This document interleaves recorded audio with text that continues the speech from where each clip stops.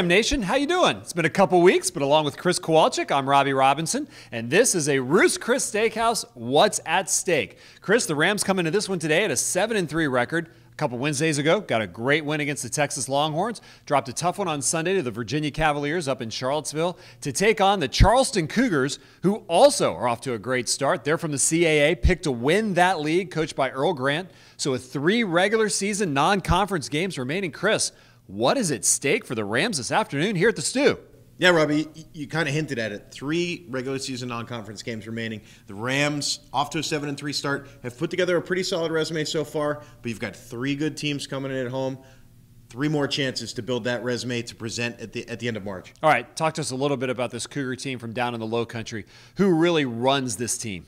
I mean, it, this is Grant Riller and Jarrell Brantley's team. Both averaging 20 a game, both veteran presences both know how to score the basketball. All right. VCU has played phenomenally defensively over the last few games. Offensively, where do you see their need to improve, and do you think they can do it today against the Cougars? Yeah, I mean, Mike Rhoades has alluded to he, he wants the team to get better shots. Mm-hmm. That being said, there's there's been a lot of good looks the last few games that just haven't gone down.